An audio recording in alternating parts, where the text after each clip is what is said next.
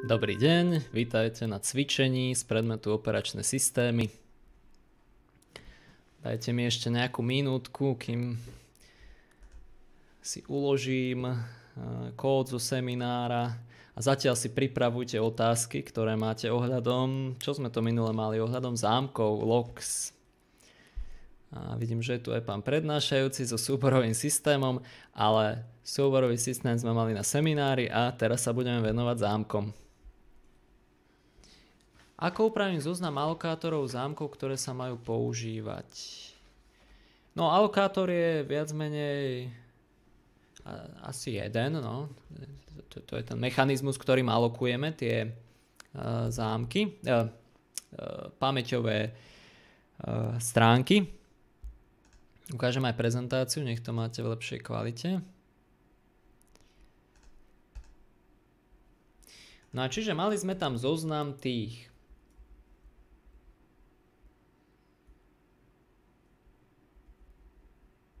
Aj sme tam iba jeden zoznam, že? To je ten free list. Tu je ten zoznam. No takže vlastne ten, zoznam je jeden, no ale chcete z toho urobiť uh, uh, viac tých zoznamov, takže musíte z toho urobiť pole tých smerníkov.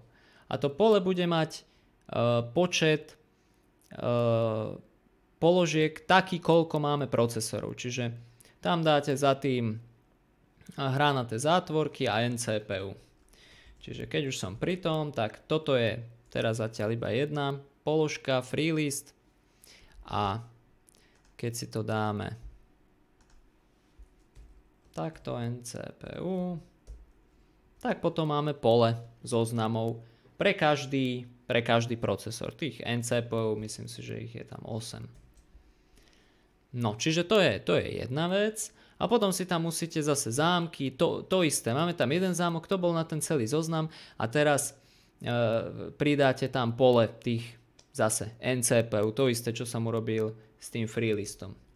Čiže keď už to robím, NCPU, takže takto takto treba upraviť ten zoznam. No a samozrejme potom uh, musíte pri alokácii zavolať uh, tú funkciu, ktorá tam bola napísaná v zozname, uh, v zadaní. To bola, uh, ako sa to volalo, get CPU, CPU ID. Ale pozor, ak chcete zavolať tú funkciu CPU ID alebo pracovať s jej hodnotou, musíte uh, vypnúť prerušenia, uh, push off, aby nemohlo nastať, že uh, dôjde k prepnutiu kontextu na iný procesor, potom by to číslo nesedelo. Takže CPU ID treba zavolať a potom podľa toho CPU ID treba pristúpiť k tomu zoznamu, čiže vlastne všade, kde ste mali free list, tak to nahradíte, pridáte tam ešte to pole. Čiže ako, prístup k prvku v poli. A To je tak viac menej všetko z toho. Zámok tam treba tiež správne urobiť. Najdôležitejšia vec je asi to kradnutie z iného zoznamu, takže tam potom musíte prejsť polom procesorov, pričom každý najprv zamknúť, skontrolovať, či nemá nejaké voľné. Teda keď je váš ten zoznam prázdny, tak skontrolujte iné procesory. A treba si dávať tiež pozor, že ktorý je váš procesor, aby, ste, aby tam nedošlo k nejakému deadlocku. A podobne treba upraviť aj ten kafri. Ten kafri máme vyššie, čiže zase zistiť e, číslo procesora, zamknúť e, daný zoznam, uložiť to tam a odomknúť a potom zase e, zapnúť tie prerušenia, keď už nebudete pracovať s tým CPU ID čo vlastne to je na konci funkcie. No, takže to som hádam dostatočne vysvetlil k tomu.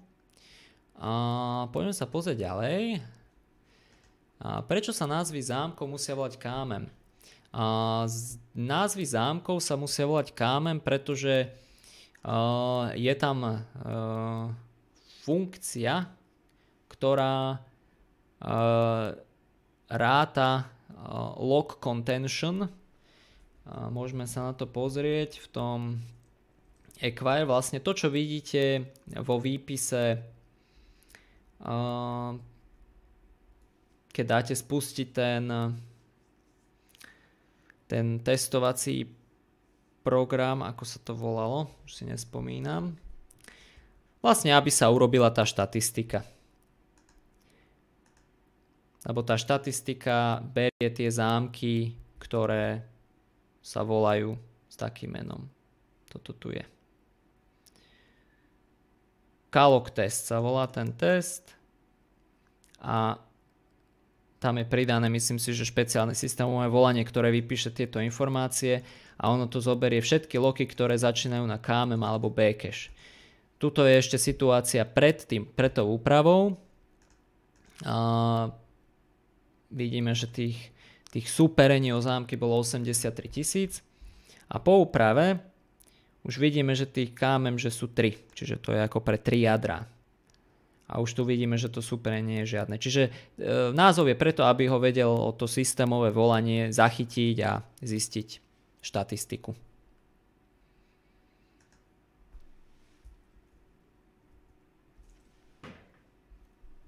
Máme ďalšiu otázku. Ako po uzamknutí CPU a prechádzaní stránkami zistím, ktoré sú voľné. Ako môžem prechádzať všetkými CPU. Aha. Čiže no, všetkými CPU neprechádzate, prechádzate e, tými zoznamami. Otázka je, že ako zistím, ktoré sú voľné, Uh, je tam na zozname nenulová hodnota. Je to vlastne bežný zreťazený zoznam, Čiže ako náhle, uh, aj tu si môžete všimnúť, tak napríklad dáme ten kalok, hej, a uh, prvé, čo sa robí, je získa sa hlava toho zoznamu. R sa rovná kamen freelist. Ak táto hlava má nejakú hodnotu, tak to znamená, že e, nejaká stránka voľná tam je a vy posuniete hlavu zoznamu o jednu stránku vedľa, to bude tá voľná a tú, ktorú ste našli, tú R, tak ju vrátite. To znamená, že budete prechádzať uh, tým poľom uh, tých zoznamov, hlav zoznamov a skontrolujete, ak je nenulový, to znamená, že niečo tam je.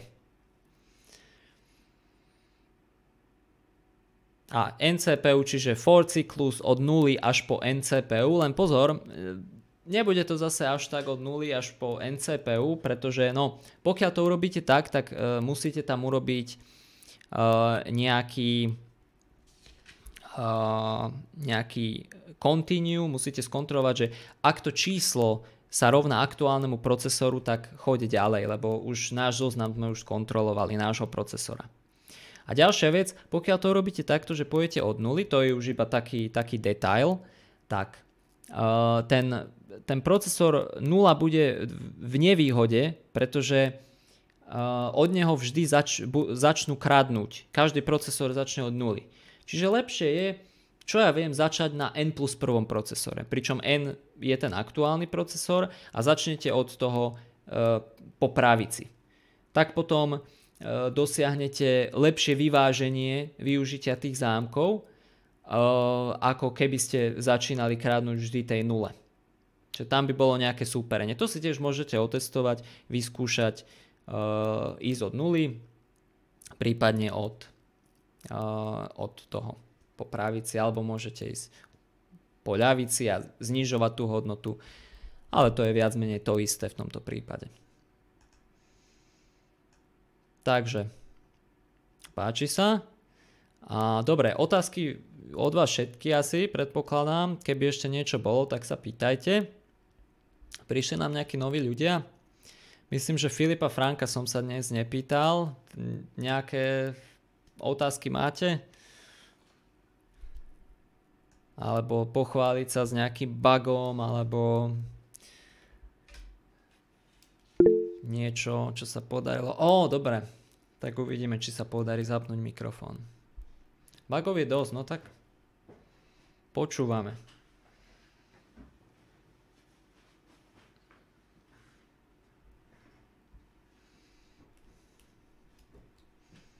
Odišiel nám asi ide iný prehliadač vyskúšať.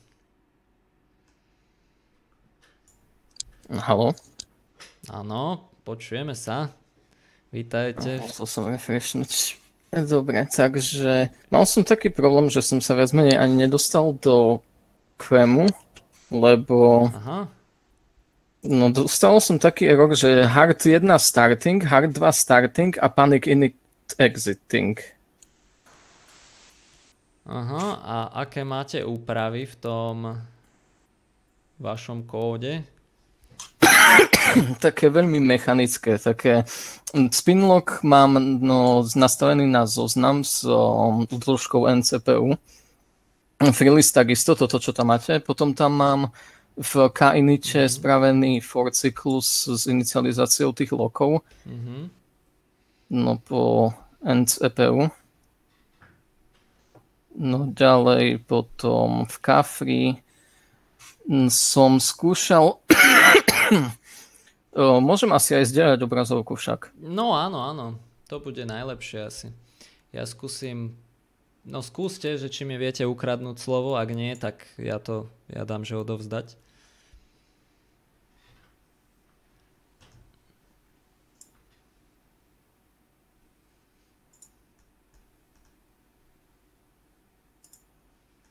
Ale vidím, že je tu povolené všetkým zdieľať, takže by s tým nemal byť problém. Hm, len mi nejde dať povolenie, tak neviem, či to pôjde. Mám to zašedené, že allow. Mhm. V prehliadači alebo V prihliadači. Zmeníte. Ja, dám odovzdať slovo. Skúste ešte raz. Tak skúsim. Aha, vyskytla sa chyba pri zdieľaní. Takže neviem, asi to mám vypnuté systémovo. Dobre, tak skúsim spraviť screen toho, čo mám ešte spravené. Mhm. Ja si myslím, že, že asi ten a, nejaký proces tam požiada o pamäť a nedostane ju a potom sa to celé vypne. Možno, možno už ten samotný init. A preto je tam init exiting.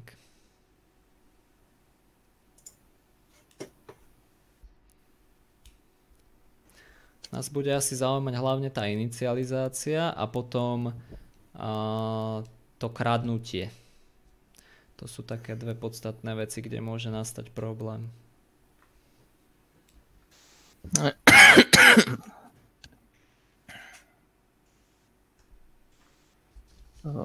Kde som to? V minule som to ako poriešil. To som dal nejak zdierať.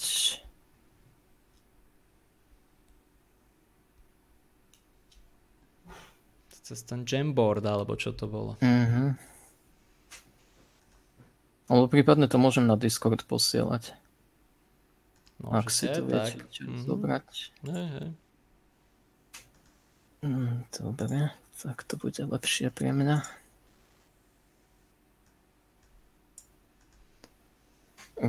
Táto úprava to vážne neviem pokryť nejakými znalosťami, to som len skúšal s tým čo bolo zadané v úlohe, že tie navratové hodnoty toho proc ID musia byť že, uzavreté v tých push-off a pop-off. Mhm.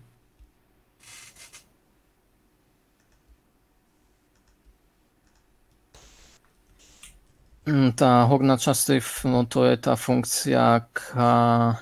mm, Nie, f- e, hej, K-free vlastne. A ešte si chce, chceli vidieť tú inicializáciu, ten K-init? Mhm. Dobre. Pozrieme. Ja sa to tu snažím už aj ukázať, aby som mal z toho aj záznam.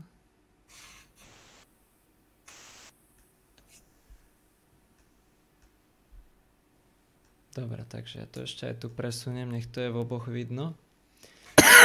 Tak pozrieme najskôr ten... Aha, tu, tou inicializáciou začneme. Mhm, inicializácia. Aha, kinit.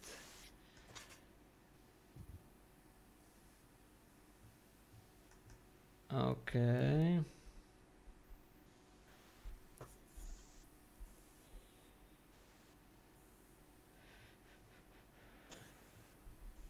Aha, to by malo byť dobré, lebo tam sa volá K-free a to sa potom uloží do tých... Rozmýšľal som teraz, že e, kde sa dajú tie prvotné pri tom free range, ale tam sa volá K-free, aby to malo byť uložené na tom procesore, ktorý vykonával to K-free. Pozrieme ten kalok. Čo tu je push, push off. CPU ide OK. Acquire, to je ten procide, to je OK. Hmm, čo je to za funkcia táto? Táto tu hore, čo nevidím jej názov. No, to je Kafrim, myslím. Á, áno, Kafri, jasné. Next. OK, to vyzerá dobre. Pri takom zbežnom pohľade. A ešte pozrime túto. Aha, Kain, to som pozrel. Tak ešte, aha, Kalok. To vy ste hovorili, že tam bude treba prehliadať tými procesormi a to tam treba kradnúť. No, tak tam máme problém. Hej, treba určite to kradnutie, lebo ide o to, že uh, ten procesor, ktorý vykonáva k ten, uh, ako sa to volá, free range, tak to je pravdepodobne, myslím, že Kainit volá úplne ten prvý procesor. Však to si môžeme aj pozrieť v... Máme tam funkciu mail. Tu je kinit a vidíme, že vlastne táto časť kódu sa vykoná len ak uh, je CPU ide 0. Hej, čiže kinit 0 procesor si zoberie úplne všetky uh, stránky. No a potom, keď sa púšťa init, a ten init môže púšťať už hociaký procesor s indexom 1, 2, tak ten uh, sa pozrie do svojho zoznamu, zistí, že tam nič nemá a, a hej, skončí, lebo nie, nie, nie je naučený kradnúť. Nemá, nemá tam ten kalok uh, dobre implementovaný. Takže ešte to kradnutie, myslím, že ste na veľmi dobrej ceste. Čo som pozrel ten kód, uh, K, Kafri aj Kalok, teda Kafri vyzerá fajn, poďme ešte pozrieť ten ten kalok. Mhm. Áno, no tam, tam to treba zmeniť, hej, čiže uh, tuto máte if r, hej, a potom tam treba mm, urobiť aj tú else vetvu, v ktorej vlastne prejdete tým poľom, tak ako som to teraz rozprával, takže mm-hmm. to ste asi počuli, prípadne potom si môžete ešte pozrieť zo záznamu. Hej, čiže tuto treba dodať, ale hej, vyzerá, e, zvyšok vyzerá v pohode. Neviem, ak si niekto iný všimol niečo, tak nech povie, ale mne to vyzerá OK. Dobre, fajne. Takže e, ešte neviem, nejaké otázky od vás, alebo niekto iný sa chce prihovoriť? Ešte mám jednu otázku mm. ohľadom tej druhej úlohy, tej ťažkej, čo sa robila na seminári, že niekde som tam spravil chybu, čo by nebol až taký problém, ale nevedel som ju nejako debagovať kvôli tomu, že to bolo počas priebehu testu mm-hmm. a ten test sa vykonával a ne, nedostal som žiaden out, output, iba sa vykonával do nekonečna ako keby. A čiže mali ste tam nejaký tento, no buď asi deadlock, nie? Alebo niečo no také. je to možné. A no potom na hľadanie deadlockov alebo všeobecne niečo takéto je dobré využiť to GDBčko. Čiže postup je taký, že neviem o ktorý test sa jednalo, ale spustíte, pustíte si normálne kvemu GDB a pustíte tam iba ten test, v ktorom to padá. Hej? Čiže pokiaľ je to nejaký z user testov, tak pustíte user tests a za tým meno toho testu alebo ak to bol ten backcache test, tak ten backcache test pustíte. A potom v druhom okne si otvoríte štandardne GDB multiarch, dáte continue a keď už to dôjde do tej situácie, kde sa to zasekne, tak v tom GDBčku dáte Ctrl C, čím dáte prerušenie a môžete potom pozrieť, že aktuálne vlákno v akom je stave, že kde, kde stojí. A ak tam budete mať, môžete si potom pozrieť backtrace, pozrieť acquire, vlastne no, na ktorom mieste v kóde je. A tu stojí za zmienku ešte, že môžete skúšať, skúšať to s rôznym počtom procesorov. Ideálne sa ladí, keď je iba jeden procesor, čiže ešte pred tým uh, GDB keď napíšete n CPU sa rovná 1, alebo tak nejako. Pozrite si to E, niekde je to napísané. Mm, toto som už robil s tým jedným procesorom, akurát no, nie som tak, v tom tak. taký dobrý, že by som sa v tom orientoval, tak no, ešte sa s tým pohrám. Čiže, čiže normálne, ak je nejaký deadlock, tak treba pustiť a potom Ctrl C v tom okne GDBčka a potom si dáte backtrace BT a uvidíte, že kde, kde ste. Ak budete v nejakej tej acquire funkcii, tak asi bude nejaký deadlock a potom môžete uh, aspoň budete vidieť, že ktorý ten zámok tu spôsobil ten deadlock a potom ľahšie sa vám bude hľadať, keď už budete vedieť, čo je príčina. Mhm. Dobre, ďakujem. Páči sa. No, nejaké ešte, neviem, otázky sú. Kde sme skončili? Jožo Mutištuje. Nejakú otázku máš? Podarilo sa naprogramovať. Je tu.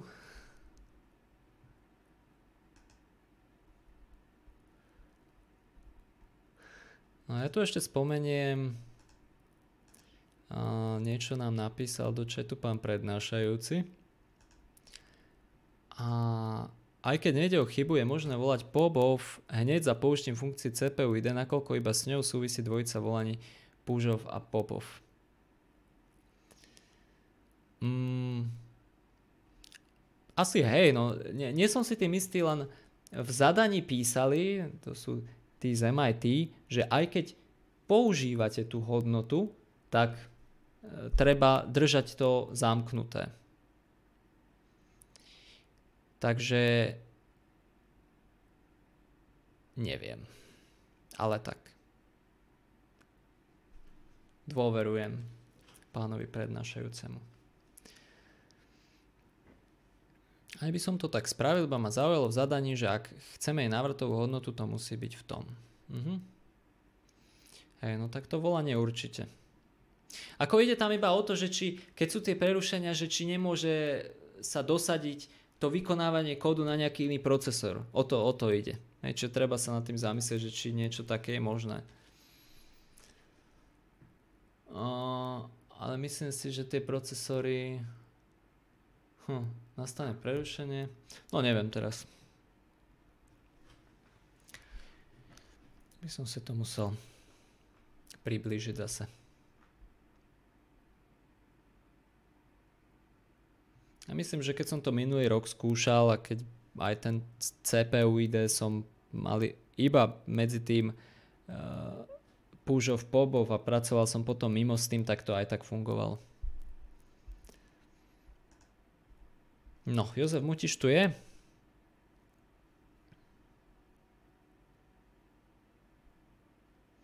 Počúva nás.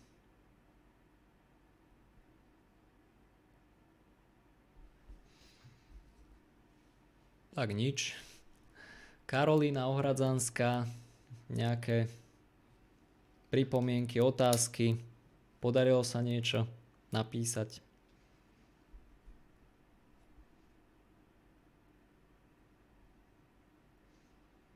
To bolo zaujímavé, keby som mohol niekomu zvuk zapnúť, odpočúvať.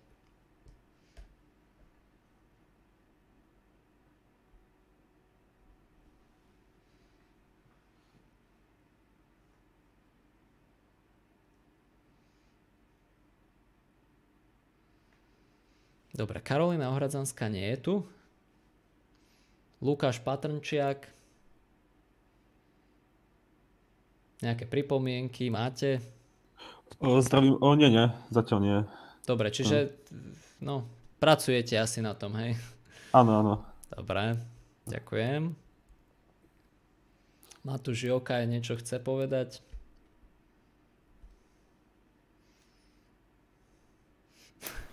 Nie. Dobre, ďakujem. Michála Štetáková. Dobrý deň, moje Dobrý otázky deň. už boli zodpovedané. O, super. Hej, celkom dosť som toho povedal, to je pravda. A Miroslav Koma.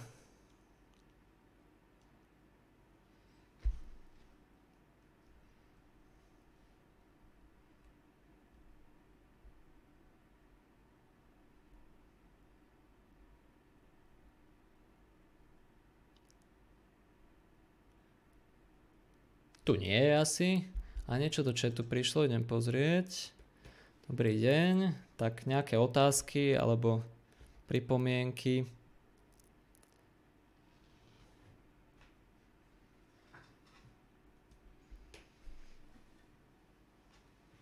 Asi nám ešte niečo píše. Mhm. Teóriou. A niečo, čo by sme mohli v, v teórii pomôcť, čo nie je jasné. Ak máte, tak napíšte.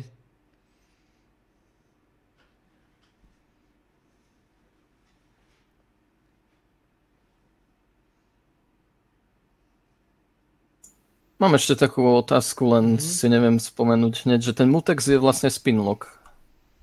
Mutex uh, a, a, teraz, no lebo uh, myslíte ako konkrétne Mutex v tom... Uh, V, tom, v tej XV6? úlohe, ako sme ho používali o, minulý týždeň. E, Hej, hej, lebo tu, tu, sa, tu sa to nazýva, že rovno, že spinlock. Ako myslím, že Mutex je iba taký všeobecný názov pre uh, abstraktný dátový typ, ktorý robí mutual exclusion, čiže vzájomné vylúčenie, aby nemohli uh, uh, dve vlákna pristúpiť k tomu istému miestu. Ale ako je implementovaný, to už je na, mm, na tej implementácii. Čiže uh, mutex môže byť implementovaný aj spinlockom, aj sleeplockom. Uh, podľa toho, že čo je pre tú situáciu lepšie, ale myslím, že vo všeobecnosti platí asi, že, že mutexy sú skôr spinlocky. I keď neviem. Môžete pozrieť do zdroja ako Linuxu. Pozrieme sa neskôr potom. Ale v tomto prípade je to spinlock. Zase nechcem nejakú blbosť povedať, takže neberte to úplne 100%, ale áno, ten mutex ako je iba všeobecný názov. Nem- nemusí to znamenať, že mutex automaticky je spinlock, ale vo všeobecnosti to tak býva. Zatiaľ nám Miroslav Koma odpísal, všetko jasné, ale nemal som dosť času, aby som si na to mohol riadne sadnúť. OK. A myslím, že ešte posledný človek, Peter Víg. Nejaká pripomienka, otázka, bug. Dobrý deň. Nemám Dobrý deň. otázky zatiaľ. Mhm, dobre, ďakujem. Potom keby niečo, tak sa ozvem na Discorde. Áno, ako vždy. A medzi časom nám prišiel Juraj Rag asi, že? A nejaké otázky od vás.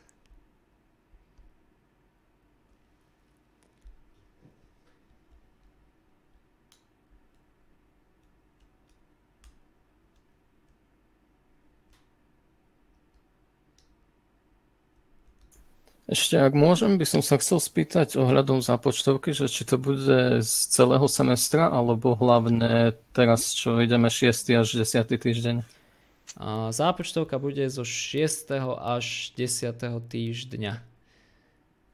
Tak by to malo byť. Ešte poprosím pána prednášajúceho, nech ma potvrdí, ale určite, lebo až skúška bude zo všetkého, ale toto by malo byť z toho, čo sme prebrali teraz.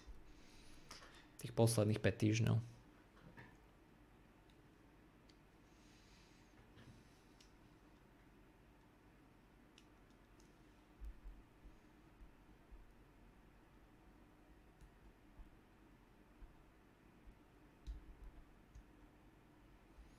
Dobre, myslím, že som všetkých prešiel. Uh, halo? Áno, áno, počúvame. Počujete ma? Super. Uh, a na zápočte to takto, že tam budú všetky tie praktické úlohy, aj tie ťažké, tam môžu byť.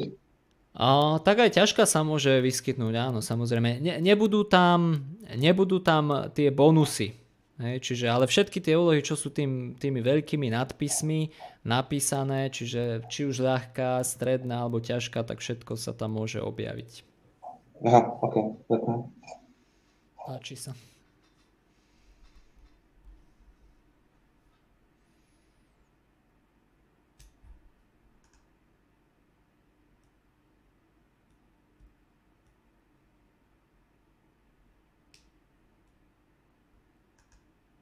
Dobre, tak.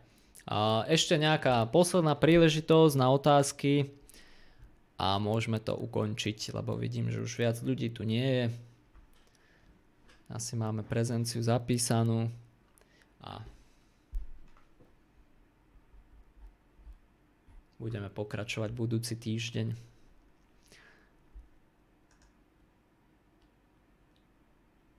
Á, Jozef Mutiš tu len predsa je. Druhý zápočet bude rovnakou formou ako jedna, alebo budeme len programovať. A rovnakou formou ako, ako prvý. Tam sme, akože, no neviem, či sa to dá nazvať, že sme programovali. Bo, boli tam útržky kódov a niečo sa doplňalo, alebo sme sa pýtali niečo ohľadom toho útržku kódu. Čiže bude sa to točiť okolo tých úloh, ktoré sme robili na cvičení. Čiže doplniť kód, upraviť kód, opraviť, popísať kód a také, ktoré sa dajú strojovo vyhodnotiť. Čiže nejaké ABCDE alebo nejaké jasné odpovede. Tak.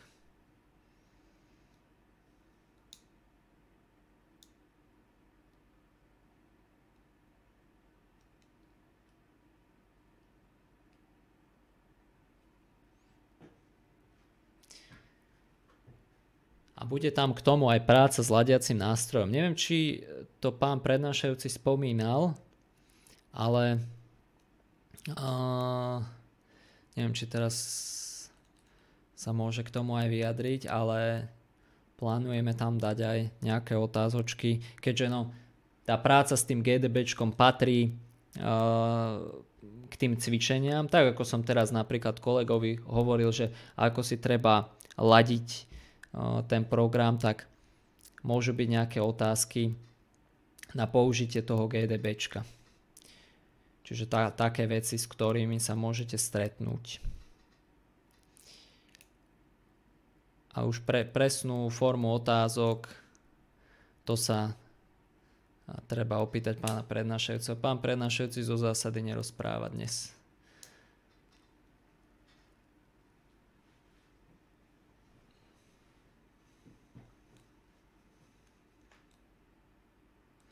Je totiž po zubnom zákroku, aby teda každý vedel, že prečo. No čiže potom um, ešte dáme bližšie vedieť, že, že tie otázky, aké budú konkrétne pre to GDBčko. A myslím, že to bude na ten štýl, že uh, aký príkaz treba použiť, aby ste dosiahli nejakú činnosť. Že treba ovládať tie základné príkazy, ako si vypíšete backtrace, ako si dáte breakpoint na nejaký súbor, ako sa posuniete v kóde. Kto s tým robil, tak nebude mať problém. To vždy platí. Dobre, takže otázky už asi nie sú. Ak ešte máte nejaké otázky, máte poslednú šancu sa opýtať. Čiže cez týždeň pracujte na tom, čo sme teraz robili na seminári, na súborovom systéme. Tam ten súborový systém, čo som ja písal, tam bol nejaký bug, takže to ešte môžete očakávať, že pribudne nejaká možno dodatočná nahrávka k tomu, kde ešte to vysvetlím, že čo sa s tým v skutočnosti stalo. Zatiaľ mám iba také podozrenie, že tam asi niečo nie je s tým súborovým systémom dobre, že to treba, že ho treba obnoviť. Ale to ešte pozriem a, a najbližšie vás čaká prednáška, myslím, že to už, to už je asi posledná, desiatá budúci týždeň a pomaly sa treba pripravovať na tú zápočtovku. Takže s vami sa vidím buď na ďalšom cviku, ak sa niekto príde pozrieť, alebo až o týždeň na seminári.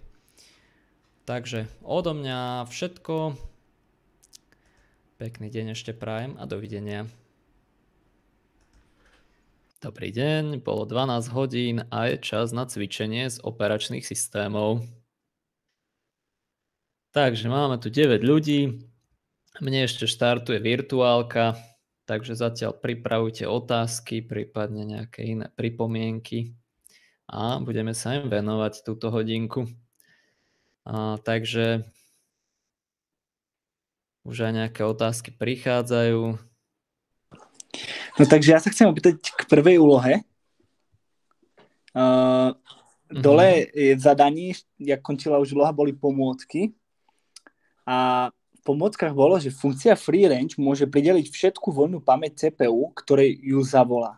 A ja som veľmi nevidel využitie s tým, keďže, keďže free range v sebe volá kfree, v ktorom vlastne my, my už tam rozdelíme podľa toho procesora, už sa tam porozdeľuje ten, ten zreťazený zoznam, že každý vlastne procesor bude mať vlastný free list, tak som nevidel vlastne to využitie, že free range, keďže on má v sebe to kafri. Neviem, či to bolo myslené tak, tá, tá pomôcka. Mm-hmm. No, bolo to, bolo to myslené presne, je tak ako hovoríte, že um, ono v skutočnosti, kto vyvoláva tú funkciu kinit? Môžeme, môžeme sa na to pozrieť. Čiže v tej K-init sa volá free range a ten free range potom volá K-free a ten K-free to potom priradí aktuálnemu procesoru, ktorý to volá, že? Áno, áno, on tam už, je, podľa, už si získame to, je, to číslo aha. toho procesora. Áno, to je jasné. A keď sa pozrieme do funkcie main, do tej funkcie, ktorá sa spúšťa uh, ako jedna z prvých uh, v XV6, tak vidíme, že vlastne inicializáciu vykonáva iba jeden procesor, pretože tu je hore na riadku 13, kontrola CPU ide sa rovná 0. Ak sa rovná 0, tak sa volajú všetky tie inicializačné funkcie, medzi ktorými je aj tá funkcia kinit. Čiže to je tu na riadku 22. Čiže ten procesor s číslom 0 zavolá kinit, zavolá free range a zavolá kfree na všetkých tých uh, stránkach, Priradí sa to jemu do zoznamu, čiže procesor 0 bude mať všetky a tie zvyšné procesory si to potom budú musieť ukradnúť.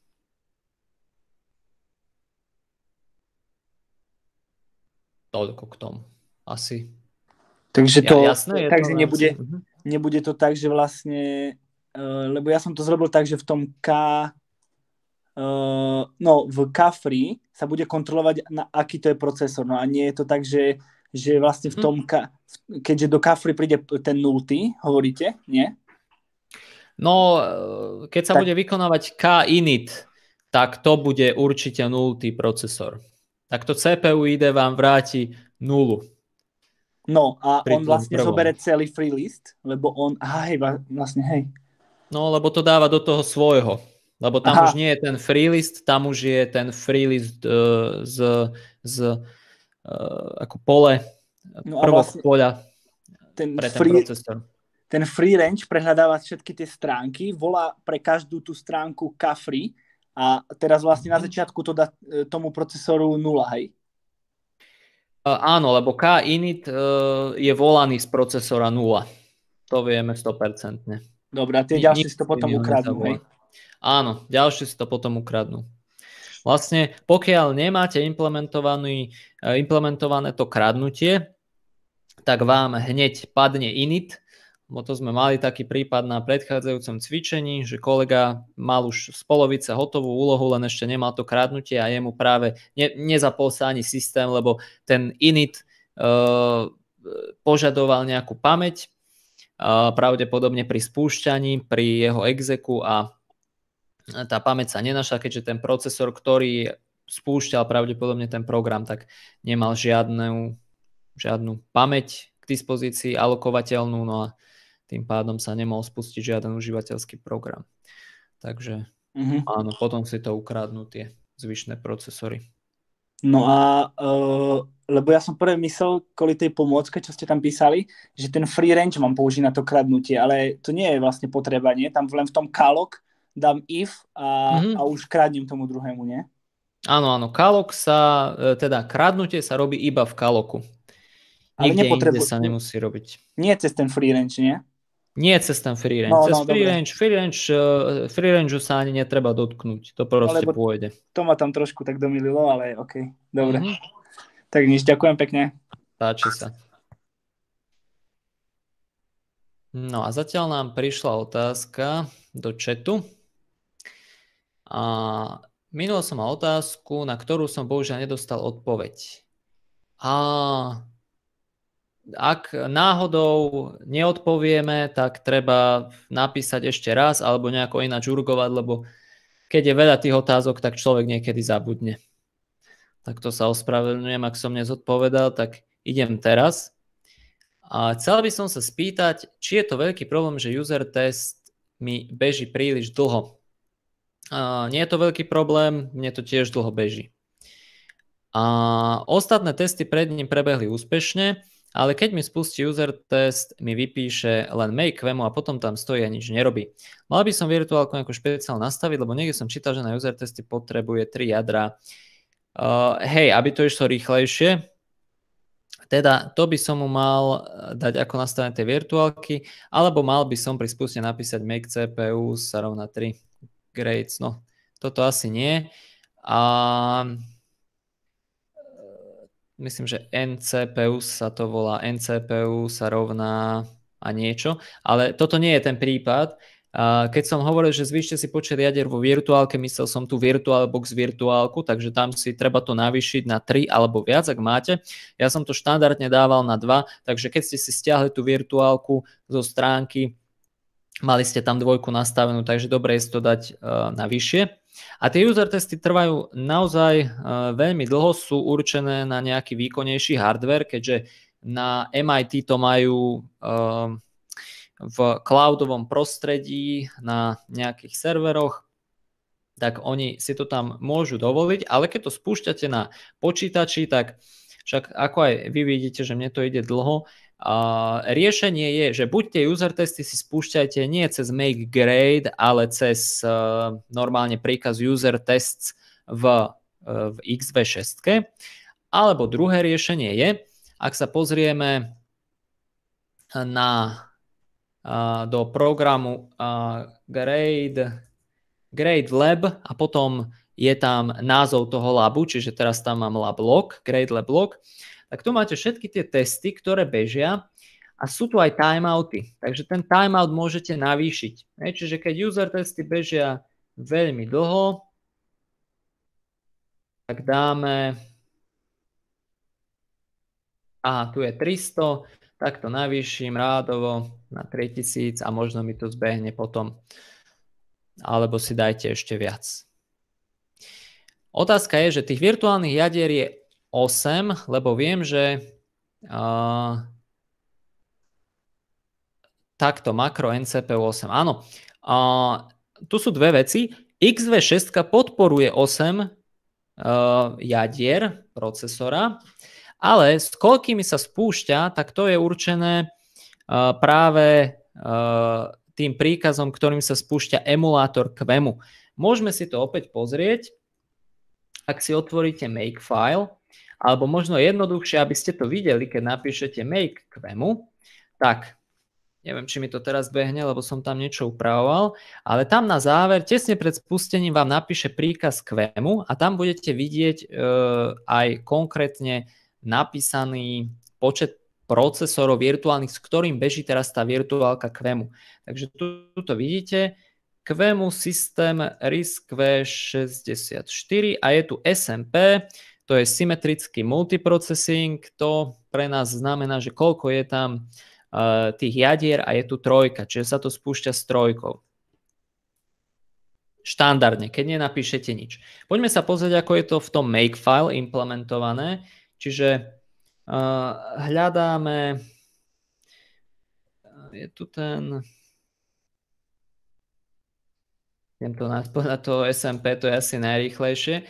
Takže vidíte, že je tu premena kvemu obc, ktorá obsahuje options pre kvemu a je tam mimo iné aj ten prepínač SMP a vidíme, že toto, do toho prepínača sa pridá obsah premenej CPUs. Čiže, čo som hovoril NCPU, tak to tak nie je, volá sa to CPUs. CPU sa rovná a za to môžete napísať pred tým príkazom. Čiže keď píšete ten príkaz, tak napíšete do príkazového riadku CPU rovná sa napríklad 1 medzera make kvemu. A potom vám to zoberie e, to číslo CPU. Vidíte štandardne, že keď ste ho nedefinovali, tak tam dosadí trojku. A je tu aj taká špecialitka, že keď máte lab súborový systém, tak sa tam nastaví automaticky jednotka z nejakého dôvodu. No. Prečo sme my potom v, tom, eh, v tej prvej úlohe využívali to makro NCPU, ktoré je 8? Že vlastne rozdielil ten freelist na 8 tých eh, záznamov, zoznamov. Mm-hmm. Áno, áno, čiže tu sú, tu sú dve rôzne veci. Jednak je uh, implementácia operačného systému, uh, to je vlastne, uh, že koľko operačný systém podporuje procesorov. Hej, čiže maximálne ich podporujeme 8 a keby sme mali nejaký 16 jadrový alebo viac, tak taký by XV6 nemohla plne využiť. By mohla využiť iba tých prvých 8. Čiže to je systémovo, to je dané ako v tom systéme, že koľko podporujeme a nemusia sa všetky využiť, lebo štandardne môžete si dať aj vypísať napríklad nejaký um, buď ladiť GDBčkom, alebo vypísať pri tom, pri tom maine, ale tak, keď už je spustený ten subsystém, eh, teda keď je spustený terminál výstupný, tak si môžete dať vypísať čísla procesorov a budú tam iba 3. Vlastne však si nemusíte dať ani nič vypísať, lebo je to tu napísané. Hard 2, hard 1 a hard 0 spúšťal uh, úplne tú prvú informáciu, čiže sú 3. Keby som, no skúsme dať nejaký experiment, dáme CPU Takže Takže potom pri mhm. tej úlohe, keď, bude, keď budú si už kradnúť navzájom, lebo jak sme hovorili, že prvé sa to dá do toho nultého, tak sa vlastne budú kradnúť len tie tri, hej? Že tam budú práve len... Áno, budú sa kradnúť tri, áno. A tam tie, tie štruktúry pre tie procesory budú spať, niekde v tej pamäti budú využívať miesto, nie je to veľmi efektívne, ale tak e, pre ten náš prípad je to, je to dobré. A vlastne tým pádom tie zoznamy vždy zostanú prázdne nič tam nebude. A môžete vidieť, že teraz keď som spustil z CPU sa rovná 8, tak už ich je tu 8. Čiže je tam 1, 2, 3, 4, 5, 6, 7 a tento prvý je 0. A keby som dal 9, tak uvidíme, možno sa to pokazí. Alebo vlastne tá deviatka ani nenabehne. No neviem. Niečo z toho. Á, jasné. No, Takže teraz... stroj Virt podporuje 8. A vy keď teraz pustíte tie user testy na tých 8, to, ne, to zrýchli niečo? A v mojom prípade to nezrýchli, lebo v virtuálke mám nastavené 3 jadrá. A jasné, okay. Iba, čiže mne by to nezrýchlilo. Ak máte e, viacjadrový procesor, pokojne tam nastavte si viacej v tom VirtualBoxe, čiže tak sa to dá potom urýchliť.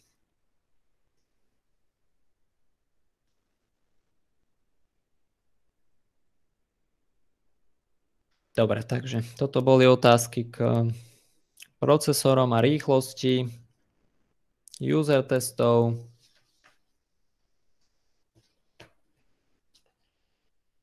Snáď je to jasné.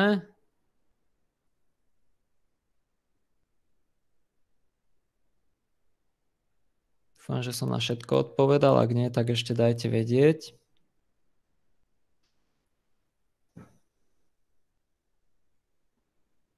No, ešte nejaké otázky?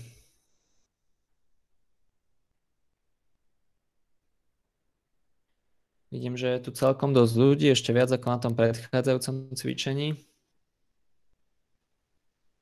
Aspoň sami ukážte, či ste tu. Adam Rúžička, nejaké otázky, pripomienky.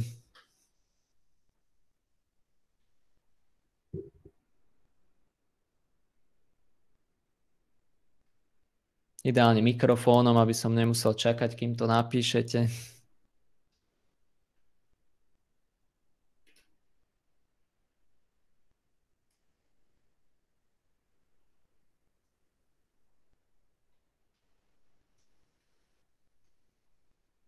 Andrej Jackulík tu je. Nejaké otázky, pripomienky. No, máme tu od Adama Ružičku otázku. Vedeli by ste vysvetliť, ako dokončiť tú cache bufferov? Á, dobre. Čiže um, to je to, čo sa tá, týka hľadania toho, hm, ako to nazvať, na, najdlhšie nepoužitého buffera, to myslíte?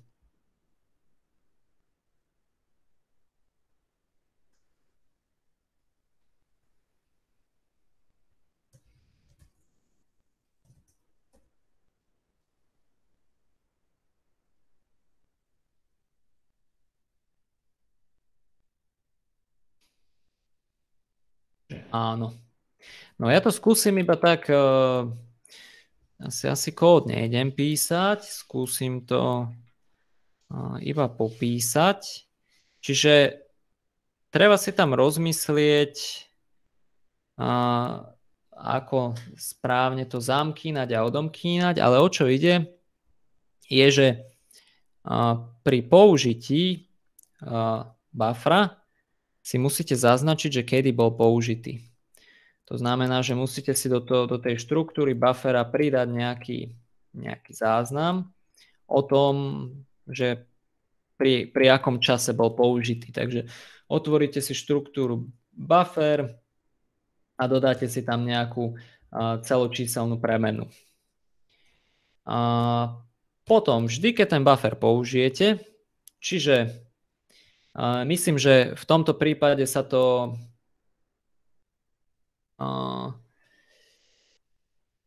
v tomto Brails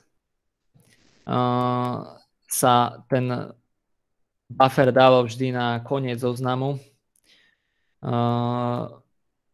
aby to bol akože či na začiatok zoznamu, teraz už neviem, no. Na jeden z tých koncov sa dával a potom sa vyťahovalo vždy zo, e, z toho opačného konca, tam, kde sa kde bol teda ten najstarší buffer. Čiže tuto v tomto napríklad buffer release si môžete zaznamenať, že v akom čase bol použitý ten buffer. A to tak, že do tej hodnoty, ktorú ste si vytvorili v tom bufferi, čiže do tej premenej, si zapíšete aktuálny počet tikov. To je premena tix a je deklarovaná v súbore devs.h Tu by mala byť niekde.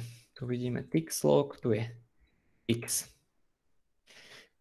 Keď pracujete s, to, s tým počítalom tix, tak mali by ste ho aj zamkínať. Um, len tam tú hodnotu čítate, takže nie je to, nie je to zase úplne nutné. Nie, nie, nebudete mať síce tú hodnotu úplne presnú, ale myslím, že pre tento prípad to zamkínať ani nutné nie je.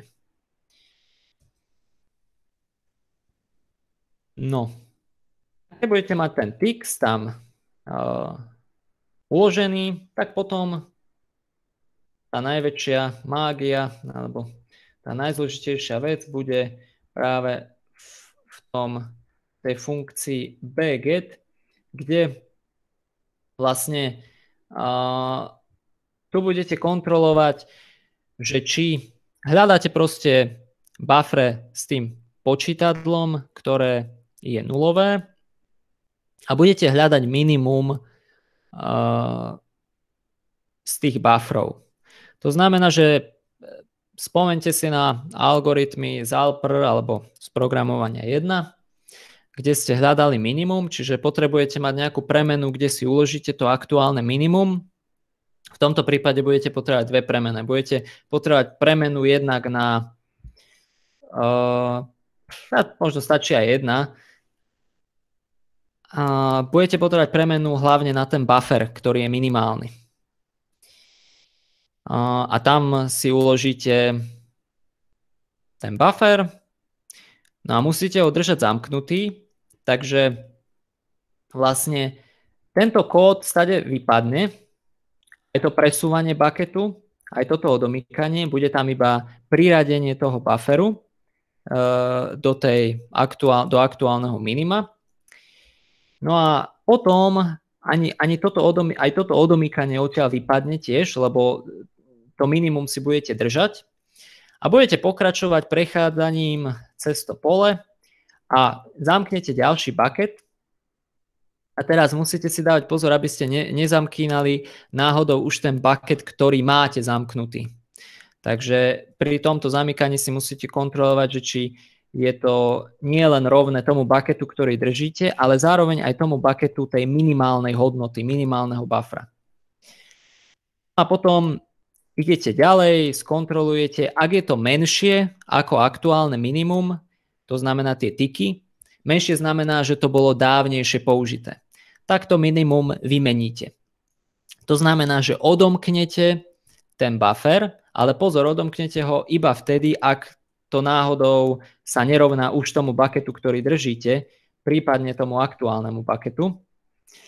Čiže tam, tam si treba naozaj premyslieť pri tom zamkínaní a odomykaní, že kedy môžete odomknúť, kedy môžete zamknúť, ale isté je, že musíte tam držať invariant toho, že aktuálne minimum musí byť zamknuté, aby vám ho náhodou niekto neukradol a ak nájdete nejaký buffer, ktorý je menší, teda ktorý má ten čas v týkoch, ktorý bol dávnejšie použitý, tak ten aktuálny odomknete a vložíte tam nový, už zamknutý. No a na záver potom keď skončí ten for, tak potom zoberiete, vykonáte túto časť, čiže jednak zapíšete tie informácie do toho bufferu, presuniete bucket, ak je nutný, a odomknete bucket a tak ďalej. Uh, čiže tak. A toto vlastne treba urobiť, aby to bolo také efektívnejšie, nie? Lebo bez toho tie testy zbehnú, tak či tak len... Áno, áno, takto to bude efektívnejšie. No, zase lineárne vyhľadávanie neviem, či je zrovna najefektívnejší spôsob, lebo keby ste tých bufferov tam už mali veľmi veľa, tak e, no neviem, neviem. Lepšie by to potom bolo naozaj buď zase do nejakého zoznamu mať, v nejakom zozname, alebo možno potom do nejakého stromu, alebo do niečoho, do nejakej inej dátovej štruktúry, ktorá umožňuje to rýchlo vyhľadať. Ale v tomto prípade, no my to máme tak zjednodušené, ale toto, toto je v tom prípade lepšie, lebo potom um, uh, nemusíme to mať v tom zozname a nemusíme uh, držať práve ten globálny zámok, na čo sme včera akurát prišli. A ešte sa môžem opýtať, kde by sme my tie tiky vlastne updateovali? Kto, uh, no, ten tik by sme mali v tej štruktúre buff, mm-hmm. buffera, ale kde by sme ich updateovali potom? Lebo tie tiky budajú od toho procesora, hej? Áno, áno. Tie tiky ja by som asi updateoval, keď som to ja robil, ja som ich asi úplne všade updateoval v B write, v B reade, ale myslím, že je to potrebné iba v tom B release, lebo iba v tom B release je možnosť Uh, teda pokiaľ by sme to aktualizovali v tom B write alebo B reade, tak ono sa to aj tak stále používa, nikto nám ten buffer nemôže ukradnúť, ale šanca je, že by sa niekto pokúsil ho ukradnúť až za tým B, B relsom, lebo tam sa vtedy nastaví ten počet referencií na nulu a tam sa zoradí do zoznamu. Čiže tuto niekde v tom B release by som by som tam aktualizoval tie tiky. Tam to stačí, lebo vlastne ten B release fungoval aj predtým tak, že sa to dávalo na koniec toho zoznamu. No, nie toho, to, to, to, to už mám opravené. No a tie tiky treba ako aktualizovať? Tam vlastne len načítam premenu, alebo... Áno, áno, na, nastavíte tú premenu, hej, čiže tu by sme dali, že B tix sa rovná tix, takto nejako.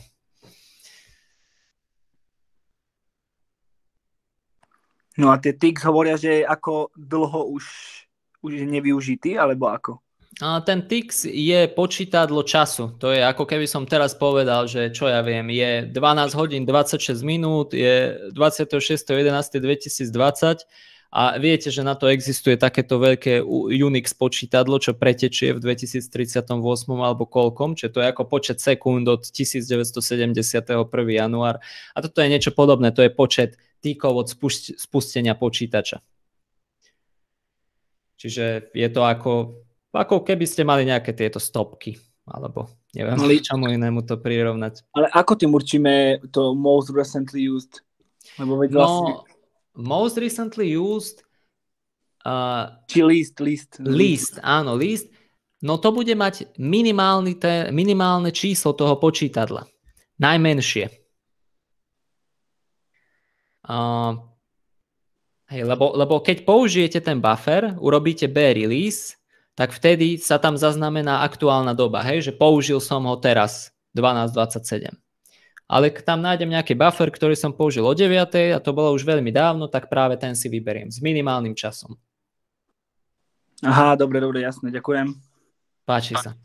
No a samozrejme, nerozprávame teraz o, o pretečení toho počítadla, lebo keď to počítadlo pretečie a začne znova od nuly, tak už potom uh, to nebude platiť. Ale to je taký prípad, ktorý nás teraz nezaujíma, je komplikovanejší, ale v nejakom takom systéme to tiež treba riešiť.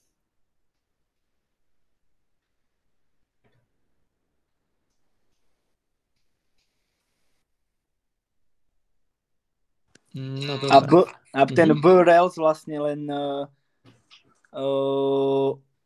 ten buffer už keby už nikto na neho nebude ukazovať a tie referencie dá na nulu, hej?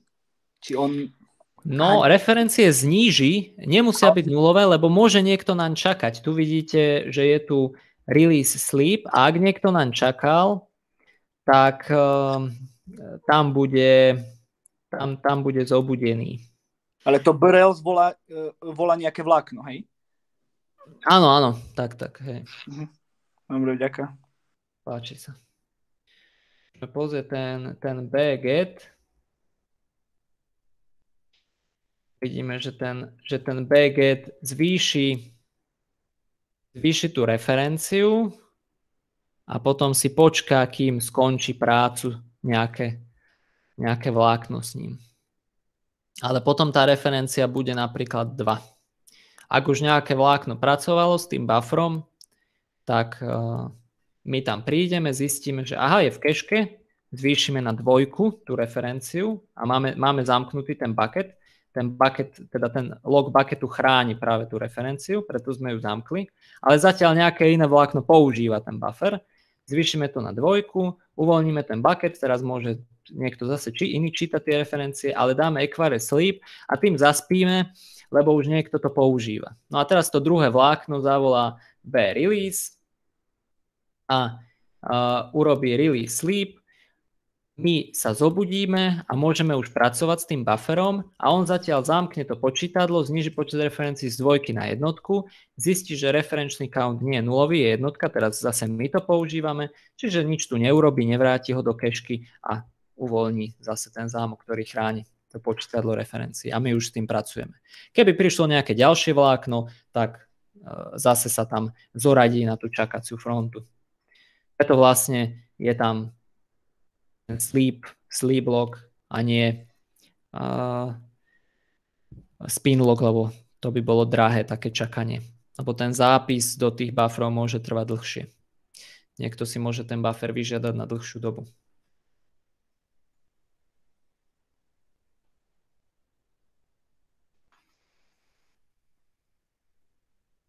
No, nejaké ďalšie otázky?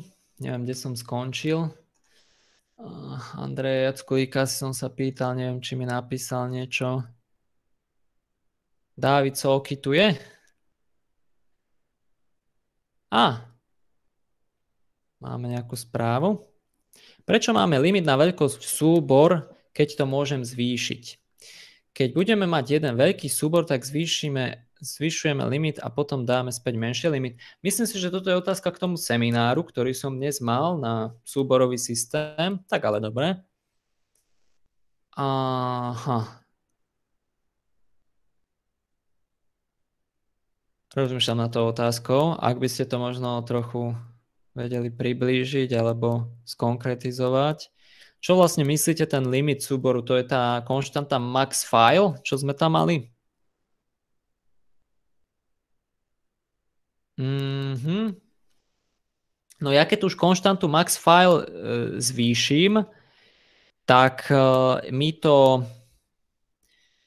e, môžeme pozrieť, že, že kde sa ten limit používa, len to si musím prepnúť tento vetvu. Switch FS seminár.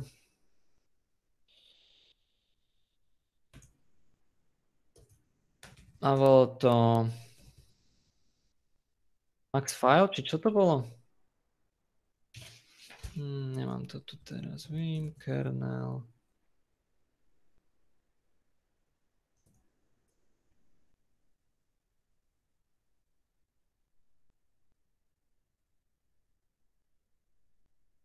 Hmm, to bolo pri tom inode, že?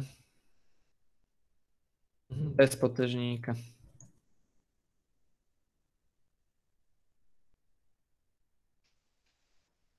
Mhm, takže vidíme, že kde sa ten Maxfile používa.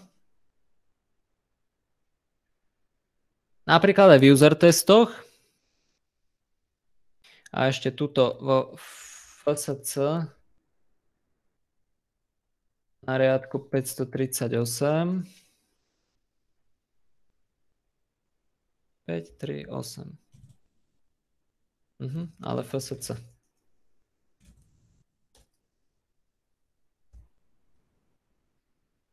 Mhm. Hej. Čiže keby ste sa snažili zapísať uh, do iNodu nejakú informáciu, ktorá je už mimo toho rozsahu súboru, tak vám vráti minus 1. Takže tá konštanta je tam aj takto na ochranu, aby ste nemohli zapisovať mimo rozsah súboru, čo nepodporuje súborový systém. Čiže súborový systém nepodporuje väčšie súbory ako max file a práve to je tu ochránené. Čiže ten limit slúži na to, aby áno, chránil, aby sme nemohli zapísať mimo, lebo by nevedel, kde to má zapísať.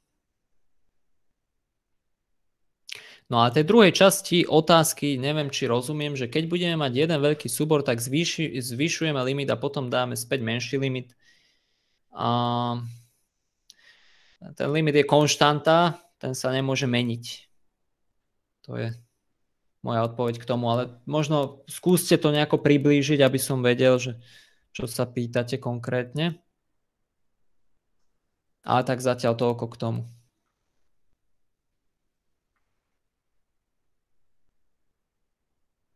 Uh-huh. Ako dynamicky počas behu programu sa to nedá meniť, no je to len predsa, je to makro, čiže ono je to potom pevné číslo zakompilované v tom programe. Ale čo sa týka ako v tom labe file system, tak tam ho zmeníte. Tak ako som to urobil na seminári. Mm-hmm. No dobre, ideme ešte ďalej. Edita Včelková tu je. Nejakú otázočku alebo príspevok do diskusie. Ako sa darilo so zámkami. Ešte na ten súborový systém ešte budete mať týždeň, takže to si nechajte. Ale tak môžete sa opýtať.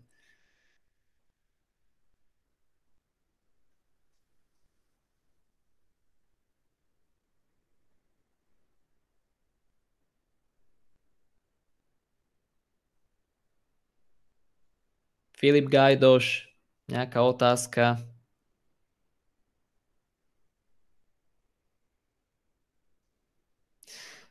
Už vidím, že sa tam niekto odpojil radšej. Momentálne nie. Tak OK. Ideme ďalej. Hanna Hriharovskaja, nejaká otázka. Á, niečo nám pribudlo. Á, to bol Filip.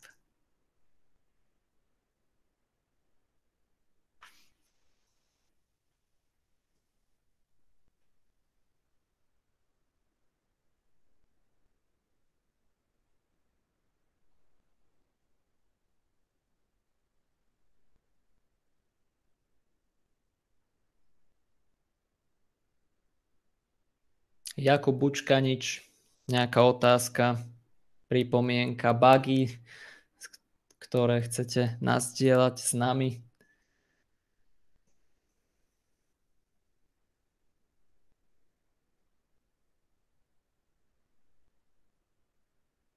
Tak žiadna.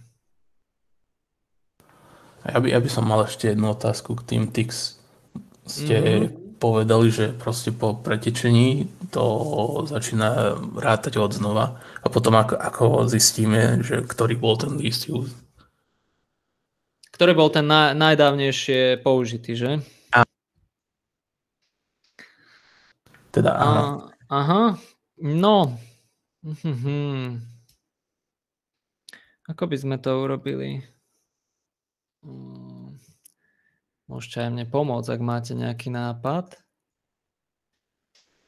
No, museli by ste tam, aha, museli by ste tam asi kontrolovať to pretečenie a potom hm, asi také najlepšie riešenie je nepoužívať na to počítadlo a dať to do nejakej inej dátovej štruktúry. A prípadne pridať tam, zväčšiť to počítadlo, aby taká situácia nenastala. Možno na to nejaký trik je, ale ako priznám sa ani ja neviem. Teraz som sa skúsil zamyslieť, že ako by sme tam museli pridať nejaký ďalší bit, ako zväčšiť to proste, aby sme to vedeli odlíšiť. nejakým Ďakujem. spôsobom. Páči sa. Však veď, ak môžete skúsiť aj vygoogliť niekto, ak vás to zaujíma takýto problém. Ono tie algoritmy mm, posledne použitého, najstaršie použitého sa celkom využívajú. Aj v scheduleroch a všelijakých iných súčastiach. A nie len operačného systému, ale aj iných programov. No máme tu otázku. Ja som v druhej úlohe nepochopila globálny buffer, ktorý ste vysvetľovali na cvičení. Ja keď sa nad tým zamýšľam, tak nechápem, na čo je vlastne potrebný. Globálny buffer.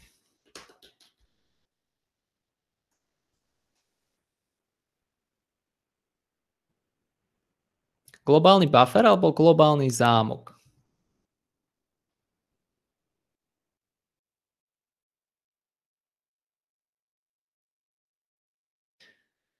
Včera pri diskusii s Tomášom Popíkom som zistil, že keď on sa ma tiež opýtal túto istú otázku, ja som nad tým rozmýšľal, že, že či je vlastne tam ten zámok potrebný a nejako som nevedel prísť, že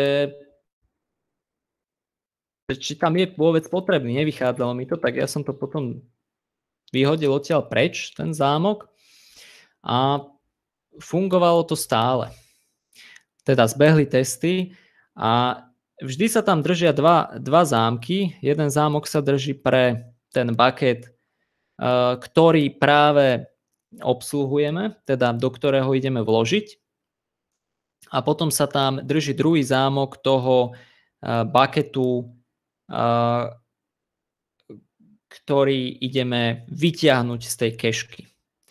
Čiže držia sa tam dva zámky a malo by to byť OK. Nemôže tam stať, sa stať nič, že, že dve vlákna by ukradli si ten istý blok, alebo že e, dve vlákna by sa pokúsili zapísať rovnaký blok, ale že by bol v keške dvakrát Uh, ani, ani jedna z týchto situácií by sa tam nemala stať. Aspoň, čo som ja nad tým tak uvažoval. Takže áno, ten, ten zámok tam v skutočnosti nie je potrebný. Došiel som k takému záveru. Môžete mi to ešte niekto vyvrátiť, ale myslím, že nie. A neviem, či je tu pán prednášajúci, aj ten by sa k tomu mohol vyjadriť, ale po, po dlhšej úvahe som zistil, že v prípade naozaj, keď prechádzame tým poľom a nie je to zreťazený zoznam, Keby to bol zreťazený zoznam, tak tam ho potrebujete, lebo ten, ten zámok by chránil konzistenciu toho zoznamu. Lebo je to dvojito zreťazený zoznam, je tam next, je tam prev z oboch strán a keby sme vyťahovali dva bloky, ktoré sú vedľa seba, tak by sa by tie pointre by sa tam mohli nejako poprehadzovať, keby sme to naraz robili, by sa, by sa naraz vyťahovali, nebolo by to dobré, ale je to pole. Takže nad tým tam netreba nič riešiť v tomto prípade. A tie, tie buffere, to počítadlo a ten číslo device, číslo inodu a tak ďalej, to je tam všetko chránené tým zámkom toho bucketu. Takže hej, netreba. Chcel som to aj ukázať v kóde, len teraz som sa zase do toho file systému prepol. Lock, že? Že hej, keď, keď dáte von ten, tento bufflock. Mhm. No, tak ako dobre. Dobre. Tak, neviem, kde som skončil, ešte máme 8 minút. Nejakí ľudia mi tu zostali? A, teraz sa ma pýtala, dobre. Kristian Sokol, nejaké otázky, pripomienky, alebo niekto iný. Môžete sa tam vložiť, ak neodpovedajú.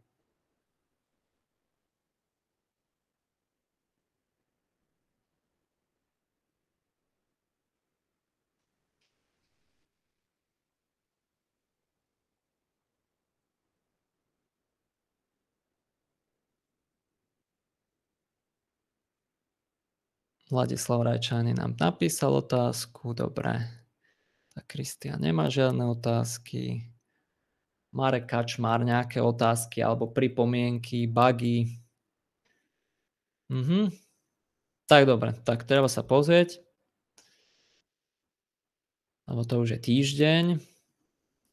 Matúš Hudák, nejaké otázky, pripomienky, bugy. Aha, dobre. Tak. Môžem, môžem ešte otázku? Áno. Uh, v init, v druhej úlohe, ešte keď som robil tú úlohu, tak ja som sa tam zamýšľal nad tým, jak sa to tam inicializuje a sme to dávali všetko do toho prvého, no vlastne do nultého. Mm. No a neviem, keby ste to vedeli nakresliť, ten akože, jak, akože viem, jak funguje obojsmerný ten zveťazený zoznam, ale keď sa to tam pridáva, tak mi neviem, prečo mi vždy na papieri vychádzalo, že jeden ukazuje dvakrát na toho druhého, aj cez previous, aj cez next. Áno, to je, to je bežná situácia, keď je tam jeden prvok. Ale nemalo by to ukazovať posledné na 0, aj prvé na 0 z druhej strany? A, to je... Hm. To je zase iný druh zoznamu. Aha, okay. toto, toto je taký špeciálny, že tam kontrolujete, že ne, nekončíte na 0, ale končíte na tom, že sa vrátite na hlavu. Aha, OK, dobre, tak už chápem. Ďakujem. Páči sa. Dobre. Tak, ďakujem za pozornosť, aj za otázky, aj za diskusiu. A najbližšie vás čaká posledná prednáška v stredu. A tá sa bude týkať, predpokladám, že logovania v súborovom systéme a potom nás čaká posledné cvičenie mmap, ale teraz ešte budete riešiť tie prvé úlohy zo súborového systému. Takže ja sa s vami vidím na seminári budúci týždeň a na tento týždeň sa s vami lúčim. Dovidenia.